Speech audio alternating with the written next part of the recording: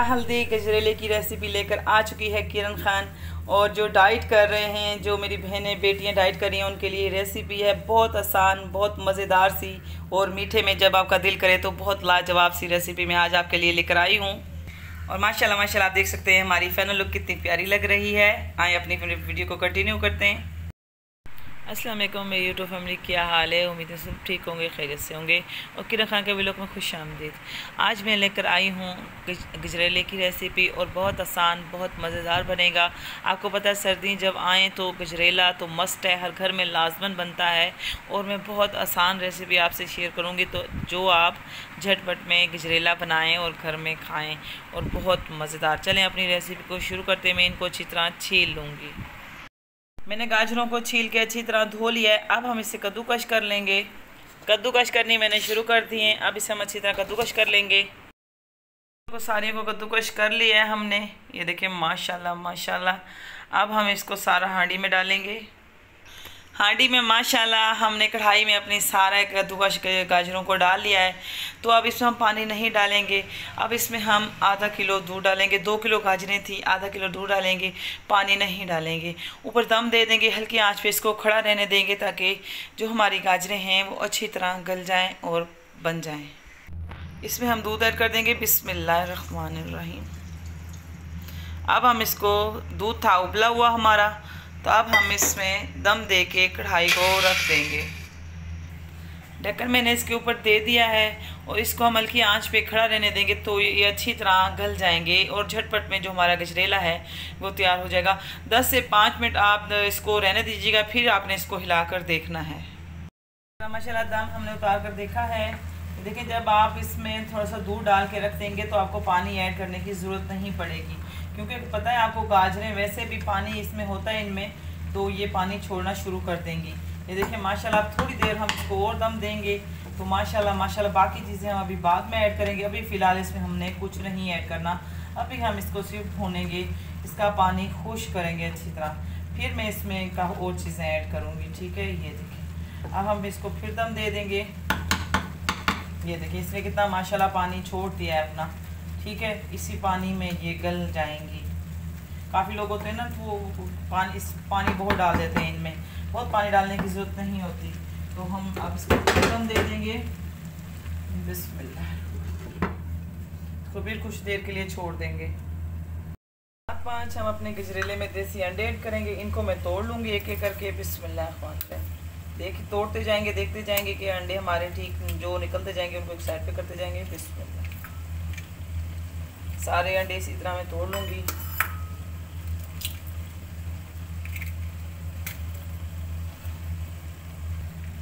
अंडे मैंने सारे तोड़ लिए, माशाल्लाह अंडे हमारे जो पाँच थे, देसी अंडे थे, वो बड़े ठीक सा बिल्कुल निकले ख़राब नहीं निकले तो इनको मैं थोड़ा सा फेंट लूँगी। और इसमें अब हम शहद भी ऐड करेंगे, चीनी नहीं ऐड करेंगे अपने गजरेले में। जो आज मैं बना रही हूँ, वो हमारा हेल्दी गजरेला है। जो लोग डाइट करना, कर रहे हैं, करते हैं उनको मीठा खाने को दिल करे तो उनके लिए ये हेल्दी गजरेला मीठाई रेसिपी है।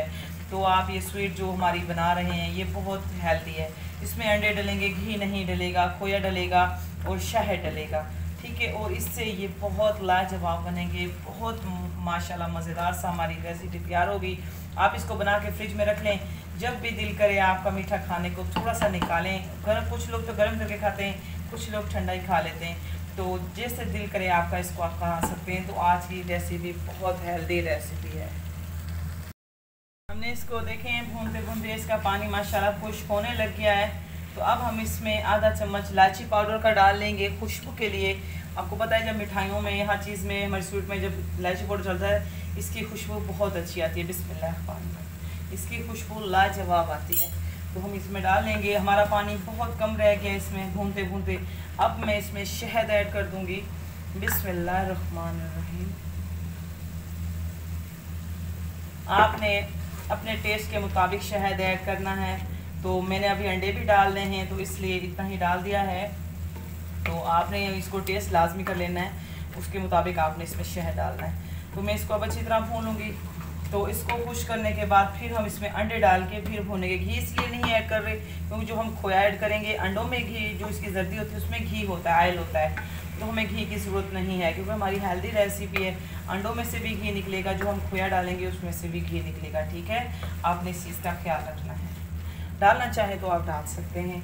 वरना इन चीज़ों से हमारा जो इसकी क्वालिटी है, घी की, बीच में वो पूरी हो जाएगी। माशाल्लाह, अब जाके हमारे देखें गाजरों में पानी खुश्क हो चुका है। माशाल्लाह, अब मैं इसमें अंडे ऐड कर दूँगी। आप कहेंगे, किरण, आप ही, आपने तो शहद डाल के हमारे लिए मुश्किल कर दी। हाँ जिनके घर में शहद नहीं है, उनके लिए ये ऑप्शन है। आप इसमें गुड़ डाल सकते हैं, ठीक है? जो गुड़ भी नहीं है, शक्कर पड़ी है तो आप शक्कर भी डाल सकते हैं।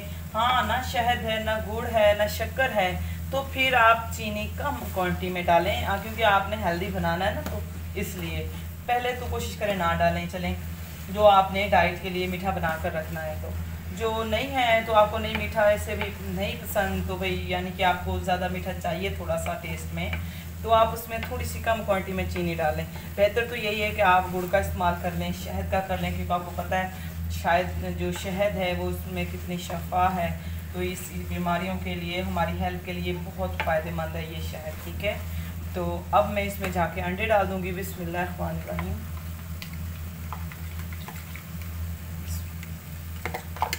सारे अंडे हम अच्छी तरह डाल देंगे। अब अंडों को डाल के फिर हम इसको भून लेंगे। बिस्मिल्लाह ठीक है? इसको मैं अच्छी तरह हिलाती रहूँगी। इसको अच्छी तरह हम भून लेंगे बीच में। इस, इसको भून के जब इसका रंग चेंज हो जाएगा थोड़ा सा अंडों का बीच में फिर हमने इसकी बस करनी है। वरना अभी इसको भूनते रहेंगे।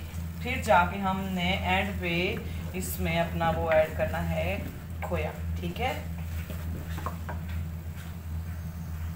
माशाल्लाह माशाल्लाह, आप देख सकते हैं कितना प्यारा कलर आ रहा है, बिल्कुल भुना भुना सा। अब मैं जाके इसके ऊपर खोया डालेंगे, खोए को भी भून लेंगे। बिस्मिल्लाह ठीक है? एक पाव से कम है हमारा खोया। तो हम खोए को भी बीच में भून लेंगे ताकि इसका घी, इसका टेस्ट भी बीच में आ जाए तो इसकी जो फिर टेस्ट होगा, फिर लाजवाब हो जाएगा। अब मैं इसको हिला लूँगी, बिस्मिल्लाह माशाल्लाह, जो हमारा आज गजरेला है, बहुत लाजवाब बनेगा, बहुत मज़ेदार बनेगा। माशाल्लाह माशाल्लाह। अब मैं इसको डाल के भून के आपको इसकी फाइनल लुक दिखाती हूँ। माशाल्लाह माशाल्लाह। माशाल्लाह, ये देखें मैंने इसको अच्छी तरह भून लिया है। ठीक है, क्योंकि खोया डाला था तो मैंने कहा अच्छी तरह भून लें ताकि इसका जो टेस्ट है, वो ख़राब ना हो। तो माशाल्लाह, आप देख सकते हैं कितना खिला खिला सा कितना लाजवाब हमारा हलवा बन के तैयार हुआ है गजरेला। तो अब मैं आपको डाल के इसकी फाइनल लुक दिखाती हूँ। माशाल्लाह माशाल्लाह, आप देख सकते हैं कितनी प्यारी लुक आ रही है। अब इसकी हम गार्निश कर लेंगे थोड़ी सी। बिस्मिल्लाह मैंने थोड़ी सी गरी कद्दूकश की थी। इसके ऊपर डालेंगे, माशाल्लाह थोड़ा सा खोया रखा था, वो हम इसके ऊपर डालेंगे, माशाल्लाह माशाल्लाह, कितना हेल्दी और कितनी मज़ेदार सी रेसिपी है। ये देखें, माशाल्लाह माशाल्लाह, ठीक है जी, ये देखें, माशाल्लाह अब हमारी लुक कितनी प्यारी आ रही है। उम्मीद है आज की रेसिपी आप सबको पसंद आई होगी। आई है तो लाइक और सब्सक्राइब कर दीजिएगा। अल्लाह पाक आपको खुश और आबाद रखे, जहाँ रहें, हँसते रहें, मुस्कुराते रहें। अल्लाह पाक आपको दोनों जहान की खुशियाँ देखने नसीब करे। अल्लाह पाक आपको इसी तरह मेरे एक व्लॉग देखने की तोफीक दे और इस मेरे व्लॉग के साथ किन खान को इजाज़त दें। अल्लाह हाफिज़।